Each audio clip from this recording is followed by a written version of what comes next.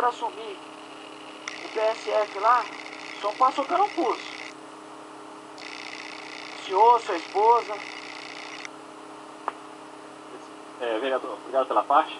Sim, passando por um curso lá na Faetec, mais ou menos Quanto tempo? 15 a 20 dias, né? Aonde. Foi não? Segura agora um pouquinho, vereador.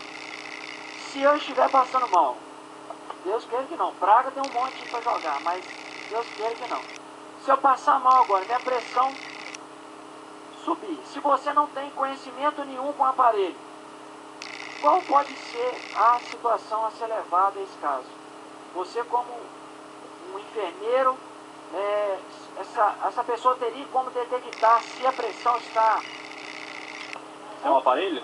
não, com o aparelho. Mas ele- sem saber verificar? Sem, sem saber. Não, não tem jeito.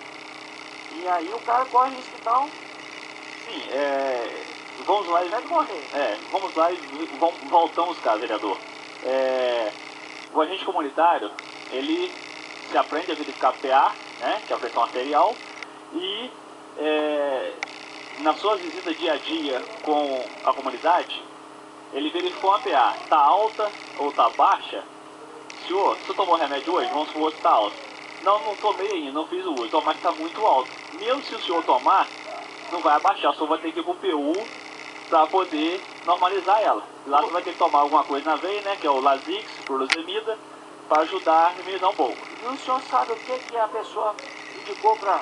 falou com essa, essa menina que estava começando a trabalhar hoje? Olha, vai aprendendo aí com a outra aí, ó. Vai aprendendo com a outra aí.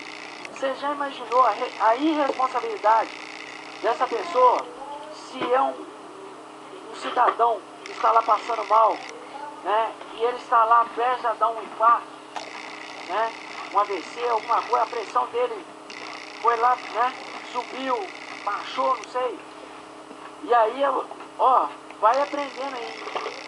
Vai aprendendo aí. Vai aprendendo. Se o sujeito não morrer, tá bom demais. Se morrer, Ô, fazer o vereador, quê? Não vai voltar para reclamar? o que, me, o que me deixa mais espantado é que cada agente comunitário tem que fazer 20 visitas diárias. 20. E como esses aprendizes de agente comunitário vão fazer 20 visitas diárias, vocês não estão acostumados, não sabem como chegar numa casa. Se você chegar numa casa, você vai ter que se apresentar, ó, agora eu estou trabalhando, fui indicado por pessoas dessa forma e comecei a trabalhar de agente comunitário. Pelo visto lá, isso não, não precisa, entendeu?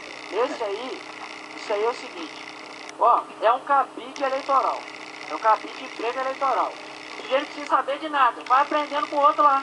E se o sujeito quiser aprender também, que se ele não quiser, vai continuar lá. Mas só que é o seguinte, eu fui indicado pelo, né, pelo cidadão lá, quem me colocou lá, né, eu não preciso saber de nada. Se o sujeito morrer, ele não vai voltar mesmo, né? Ele não vai voltar. Então, tipo assim, ele vai passar, ela vai passar, o cidadão vai passar, ela vai fazer a visita, vai dizer que tá medindo a pressão, é só bombar, né? né aquela, aquele negócio igual, igual aqueles é, desodorante antigo, né? Assim, vai bombando aquilo ali, ó. Aí você achar que o sujeito, né? O sujeito, aí, aí você pode tirar, né? Fora aquela bolotinha ali, que eu, que eu sei isso. Fora aquele negocinho, aquela bolotinha ali, tira, aí tirou, vai embora. Aí você bota lá pra mim 18, 20, 15, 10, entendeu? Bota e reza pro sujeito morrer. Né? Vai lá, doutor, pode só brilhando o nosso pronunciamento. Estão falando sobre pressão aí, é, é, tirar a pressão. Eu acho que é isso que eles fazem, né? não é aferir a pressão, é tirar a pressão. E realmente é tudo aí que você está falando. Mexer com pressão é coisa séria. Se for só bombar aquele negocinho, é Porque fácil. é- é a, a hipertensão arterial ela é uma doença sintomática. Então, se der bobeira, dança. Você entendeu? Bom, faz um derraminho aí, entendeu? Bom, ou se não morre, fica todo torto, entendeu? Doutor, Bom, ali, ali é só o seguinte, então, é, é, isso aí é coisa séria.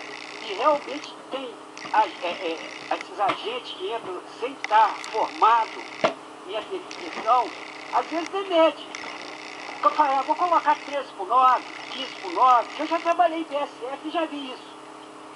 Já rodei esses vestidos todos aí, já vi vários casos desses que saem. Entendeu? Bom, e estou dando parabéns a você pelas suas palavras. Tem que bater mesmo. Isso é perigoso. Tem que morrer, ó.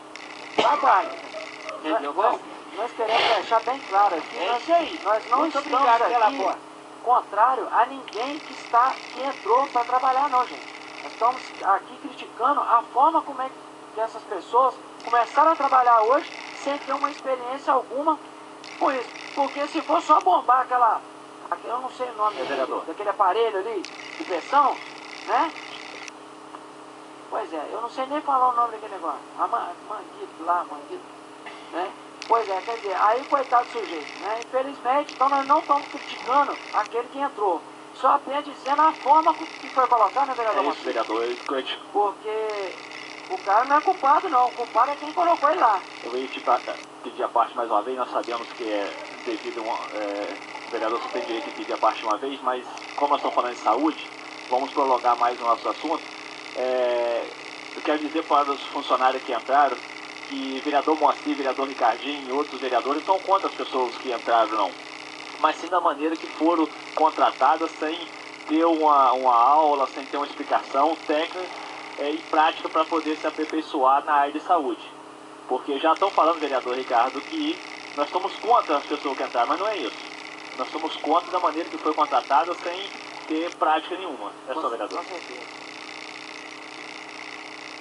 É, E aí nós vimos o percentual de 51,3% nos 37 milhões de pessoal, dentre eles esses contratados, e cada dia que passa gradativamente vem aumentando, é, eu queria que essa casa e os líderes do governo dessa casa poderiam é, intervir a prefeita com relação ao reajuste dos servidores dessa casa e também o que, que foi, se teve algum vereador que, que procurou a prefeita, que conversou com a prefeita com relação às demissões, porque eu pedi que os colegas tivessem uma intervenção com relação à prefeita para que esses agentes continuassem até que fosse realizado o concurso público.